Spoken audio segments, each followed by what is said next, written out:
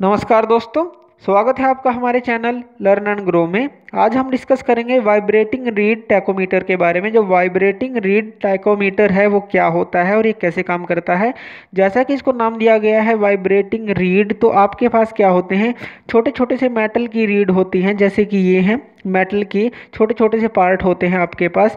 ये किस चीज़ के बने होते हैं? ये स्टील के बने होते हैं या आयरन के भी ये बने हो सकते हैं। मेनली इनको स्टील से बनाया जाता है, ताकि ये लंबे टाइम तक चल सकें।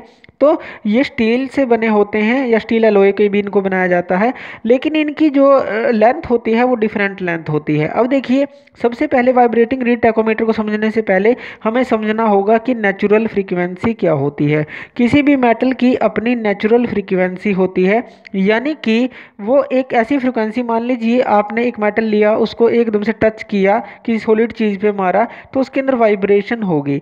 अब जब वो जो वाइब्रेशन है, वो क्या है? उसकी एक तरह की नेचुरल फ्रिक्वेंसी है जब वो ओसिलेट करेगा। जब आपने दोबारा उसको कंटिन्यूसली रिपीटेड एक्सटर्नल फोर्स नहीं दिया, एक बार दे उसको, जो उसकी ओसिलेशन हुई, वो क्या होगी? वो नेचुरल होगी। या आप कह सकते हैं इसकी डेफिनेशन क्या बनेगी?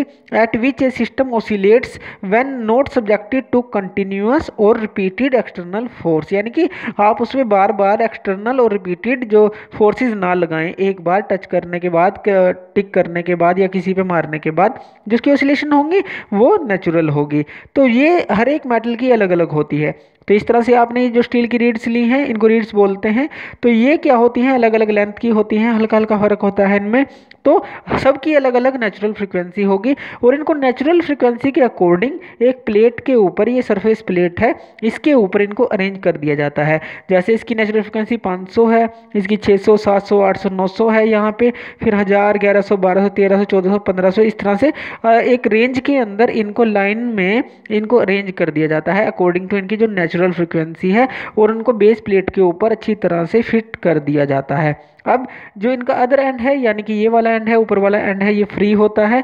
तो अब क्या होता है, देखिए, अब कोई भी रोटेटिंग चीज़ है, मान लीजिए कोई मशीन है, उसके अंदर कोई शाफ्ट रोटेट कर रही है, अब कोई भी जो रोटेशन वाली चीज़ होती है, अगर जो हम कहें कि जो इसकी वाइब्रेशन है, जो बॉडी की पूरी, वो इंटर रिलेटेड होती है। यानी कि ये जितनी तेज़ घूमेगा, उतनी ही वाइब्रेशन इसके अंदर पैदा होगी। इसी प्रिंसिपल पे एक काम करता है। आप क्या करेंगे, जैसे मान लीजिए मशीन है, इस जो रीड को इसके ऊपर रख देंगे। जब आप इसके ऊपर रखेंगे तो जो भी इसकी नेचुरल फ्रिक्वेंसी से मैच करेगी, जितनी भी स्पीड तो वही जो है, ज़्यादा वाइब्रेट होने लग जाएगी। मान लीजिए, ये क्या है?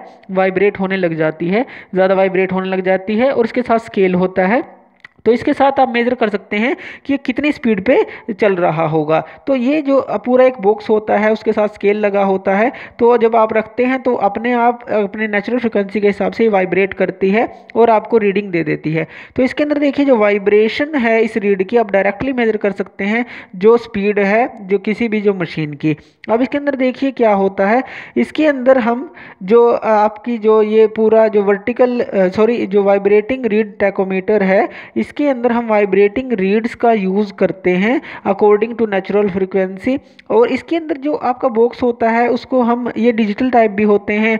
तो जिनको आप, मान लीजिए इलेक्ट्रॉनिक जो आपके आपके वाइब्रेशन एनालाइज़र से भी अटैच कर सकते हैं। तो इलेक्ट्रॉनिक वाइब्रेशन एनालाइज़र से अटैच करके भी आप क्या कर सकते हैं, इसकी जो स्पीड है, उसको मेज़र कर सकते हैं।